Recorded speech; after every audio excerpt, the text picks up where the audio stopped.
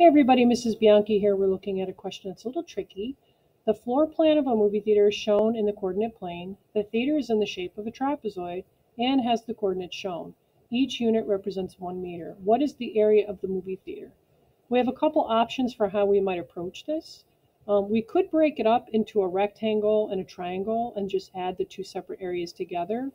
Or we could just simply use the formula for area of a trapezoid. Both will work.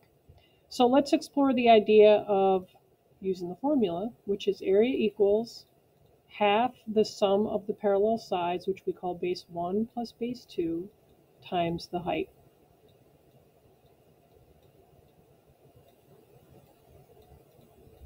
All right, so we need to figure out which two lines are parallel to each other. That's this line right here and this line right here. So I'm just going to move this out of the way because we're not exploring the idea of rectangle and triangle. We're actually going to use the formula for area of a trapezoid.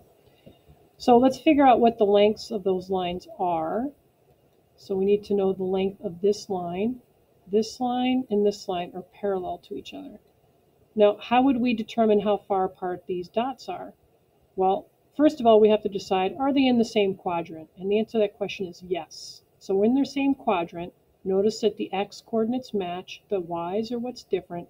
When they're in the same quadrant, then we actually subtract the absolute value of the coordinates that differ from each other. So we're going to subtract the absolute value of 7 and 3, and that would end up giving us 4. All right, to get the distance between these two dots, notice that the x coordinates are matching, the y's are what differ from each other. Since they're both negative positives, that means they're in the same quadrant. We would subtract the absolute value. 7 minus 1 would give us 6. All right, so we know that one of the parallel lines is 4 and the other one is 6. Now we need to know the height. Now remember, the height has to be perpendicular to the bases, meaning it forms a 90 degree angle. That's this line right here. That's perpendicular to both the red lines. So how far apart are these dots from each other? Well, notice that the sevens the y coordinates are both 7s, they match. So we're going to look at the x coordinates. Since they're in the same quadrant, we will be subtracting the absolute values. So the absolute value of this is 8, the absolute value of that is 1. 8 minus 1 would give us 7. All right, so that's the height. Now if we finish this up, we're going to add the parallel sides together. 4 plus 6 would give us 10 and then we have to multiply by 7.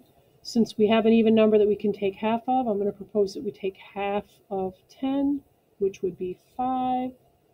So the only thing left you have to do is just multiply 5 times 7, and that will be the area in square meters of the movie theater. Now another option that we could have done is we could have found the area of the rectangle so if we found the area of the rectangle, we could have multiplied 7 times 4. That would have given us the area of this piece. 7 times 4 would be 28.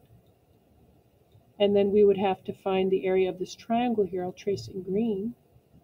This triangle would have a base of 7, right? This line right here would be 7. And you would have to infer the length of this piece. Now, if this is 4 over here and the entire line is 6, wouldn't that mean that this piece is 2? So we would have to do area equals half of the base times height, or area equals half of 7 times 2, and area equals, we take half of this, we get 1, and 1 times 7 is 7. So the area of the triangle would be 7 square meters, and all we'd have to do is add the 7 square meters for the triangle and the 28 square meters for the rectangle together, and it should give us the same exact thing we get by doing it this way. Right, either way, you'll get the right answer.